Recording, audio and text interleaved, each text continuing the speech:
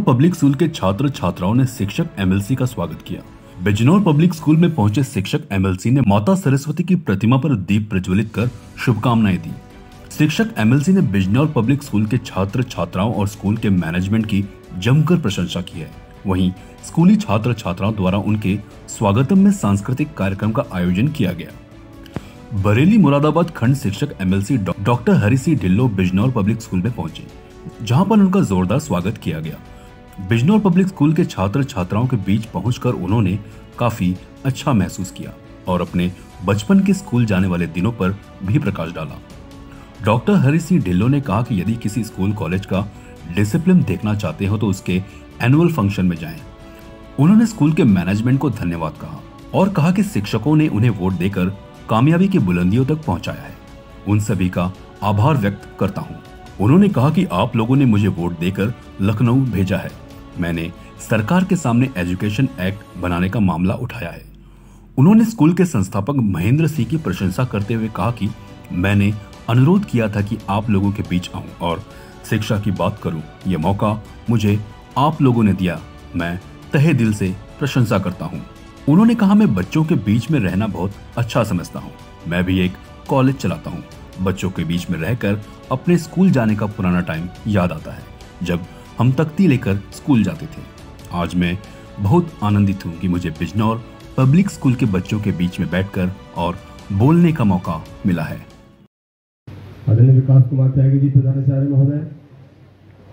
मेरे साथ आए चौधरी सिंह जी और सेवानिवृत्त कहूँगा आपको मैं रिटायर्ड तो कहूँगा नहीं रिटायर्ड सब तो वैसे ही लगता है। स्क्वाडन लीडर हमारे सुकेश कुमार जी, सम्मानित मेरे गुरुजन और प्यारे प्यारे बच्चों। एक कहावत है कि आप अगर किसी इस कॉलेज को देखना चाहते हो थोड़े से टाइम के लिए तो उसकी प्रेयर पे चले जाइए आप। तो प्रेयर में पूरा आपको लेखा जोखा पूरे दिन में क्या होने वाला है और कैसा कॉलेज चला उसके बारे में आपको सारी जानकारी मिल जाएगी। और अगर पूरे साल का लेखा जोखा देखना हो तो उसके एनुअल फ़ंक्शन पे आप चले जाइए। तो बच्चे सारी चीज़ें आपको बता मैंने छोटा सा कार्यक्रम देखा आपका। मैं फिर कह रहा हूँ कि दोनों बच्चे जो हमारी अनाउंसर हैं जो दोनों बच्चों ने जो कार्यक्रम किया है, वास्तव में बहुत सुंदर, अति सुंदर। और आपको बहुत बहुत बधाई, शुभकामनाएँ। सबसे पहले तो मैं आदरणीय चौधरी महेंद्र सिंह जी का धन्यवाद और तमाम स्टाफ का धन्यवाद और आभार व्यक्त करता हूँ।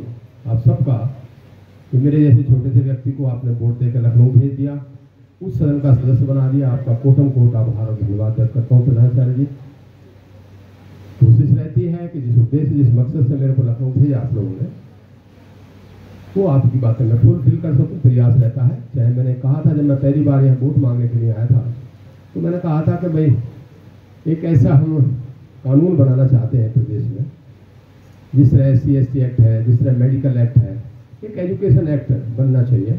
उसकी आवाज़ अगर आपने देखी हो तो मैंने बोला था विधान परिषद के अंदर कि एजुकेशन एक्ट बनना चाहिए। मैं विधान परिषद में सरकार के सामने बोला था, जिसकी वजह से हमारा प्रबंधक, हमारा प्रधानाचार्य और हमारे टीचर भी सुरक्षित रह सकते हैं। हमारे लिए भी कोई कानून हो जिससे हम और मैंने कहा सरकार से इस बात के लिए कि भाई जब तक ये सुरक्षित शिक्षण संस्थाएँ सुरक्षित नहीं होंगी, भय भय से दूर नहीं होंगी, इनको संरक्षण कानूनी रूप से नहीं दिया जाएगा, तब तक आप ये अपेक्षा ना करें सरकार इस बात के लिए कि हम बहुत शिक्षा का स्तर बहुत ऊपर लेकर जाएँगे। इनको भय से मुक्त करिए, इनको संरक्षण दीजिए और एक ऐसा एजुकेशन एक्ट बनाइए।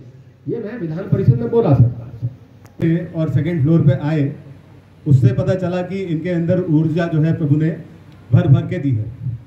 और अगर ये बहुत एक पॉजिटिव चीज़ है, जो लोग ऊर्जावान है, जिनके अंदर ऊर्जा है, जिस तरह से सर अभी बात भी कर रहे थे, उसमें भी ऊर्जा दिखाई दे रही थी।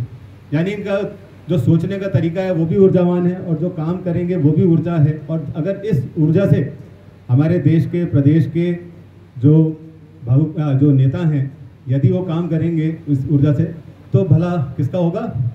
हम सबका होगा। तो हमारी सबकी तरफ़ से धन्यवाद कि आप अपनी ऊर्जा को बनाए रखें और भगवान से भी प्रार्थना है कि आपकी ऊर्जा इसी तरह बनी रहे। आपने बहुत अच्छी बात बताई कि जो आप एक्ट लाने की कोशिश कर रहे हैं टीचर्स का एक्ट लाने की कोशिश कर रहे हैं, यदि वो आएगा तो सारे शिक्षक समाज के लिए एक बहुत अच्छा जो है संयोजन होगा। परंतु यहाँ पर जो मेरे शिक्षक हैं और जो बच्चे हैं, कभी आगे चल के भावी शिक्षक भी हैं यहाँ पर, हम लोग भी बैठे हैं। पर एक चीज़ मैं ये भी कहना चाहता हूँ साथ में, जो भी शिक्षक आज की डेट में या आज से पहले या आज के आने वाले कल में, अपनी एनर्जी का, अपनी नॉलेज का, पूरा का पूरा जो है अनुभव का इस्तेमाल कर रहा है शिक्षण में, उसको कभी किसी विद्यार्थी से या किसी अभिभावक से डर नहीं होगा। जो शिक्षक वर्थ सॉल्ट इंग्लिश में कहते हैं, जो अपने नमक के बराबर काम कर रहा है जो इस देश का नमक खा रहा है, उतना काम कर रहा है, अगर वो, उसको किसी से डरने की ज़रूरत नहीं है, क्योंकि उसके चरण में सिर्फ़ बच्चे जो हैं, उसके पैर ही छुएँगे। उसको किसी से खतरा नहीं होगा। खतरा सिर्फ़ वहाँ आता है, जहाँ हम अपनी आधी नॉलेज को समझ के, बच्चे को जो है, मूर्ख समझ के या कुछ समझ के उसको गलत लाते हैं। वहीं पर सिर्फ़ ये खराब होता है। सीईएन न्यूज़ देश प्रदेश की ताज़ा तरीन खबरों के लिए सीईएन न्यूज़ को सब्सक्राइब करें और रहें पल पल की खबर से हर पल बाखबर।